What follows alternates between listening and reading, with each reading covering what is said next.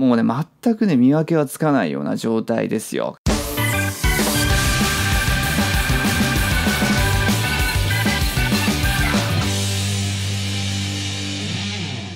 どうも皆様こんばんは、セゴリタ3世でございます。さて、今日はですね、以前リクエストのあったこの iPhone SE と iPhone 6S のカメラの性能についてですね、比較してほしいというのがありましたので、今回はそちらを作っていこうと思います。それにプラスしてですね、せっかくこちらの iPad Pro も買ったので、こちらのですね、カメラ比較も一緒にやっていこうと思います。いいですね、こういう比較動画僕結構好きなんですけど、じゃあ早速やっていきましょう。レッツゴーはい、というわけでこれがですね iPhone SE のですねアイサイトカメラ外のカメラ。こっちが 6S ですね。外でちゃんと向けてます。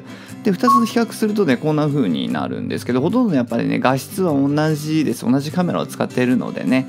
で動画にしてみたのがこれですよ。こんな風に見えます。ちゃんとねオートフォーカスで追ってくれるのでこう近づいてもグイーンとちゃんとピントを合わせてくれる。さすごい優秀ですよねやっぱりね。でこっちが 6S です。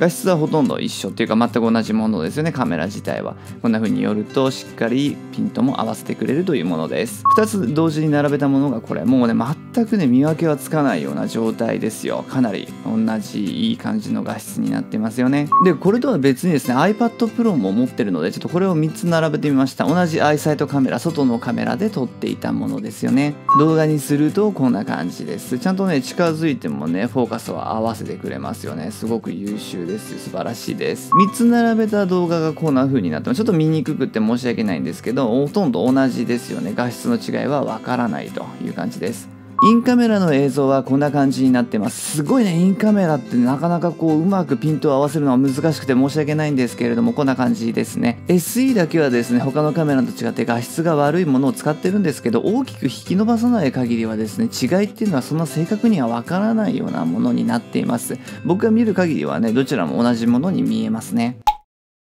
はい、ということでいかがだったでしょうか？こんな感じです。乗ってるカメラ自体はですね、本当に同じものを使ってるわけですよ。だから、基本的にこう、外に向けて写真を撮る場合には全部一緒。だけど、SE の場合はインカメラの性能はちょっと落ちてるっていう感じですよね。個人的にはね、やっぱりね、撮ってて一番楽しいのはこのね、iPad Pro なんですよ。前回の動画でも言いましたけど、大きいからね、本当にでっかい液晶を見ながらこうバシって撮ってるっていう感じがすっげえ楽しいので、まだね、iPad で写真撮ったことねえんだけどなっていう方、ぜひね、もう家電量販店とかでもいいですから、試しにね、やってみてください。本当にね、僕みたいに写真好きな人だと、おおって多分なると思いますから、ぜひぜひチェックしてみてください。こんな感じでですね、皆さんのリクエストにもガンガン私はお答えしますよ。ぜひ下のコメント欄に書いて教えてくださいね。というわけで今日の動画はこの辺でこの動画が面白いと思った方、高評価、チャンネル登録もよろしくお願いします。というわけでまた明日なー、じょー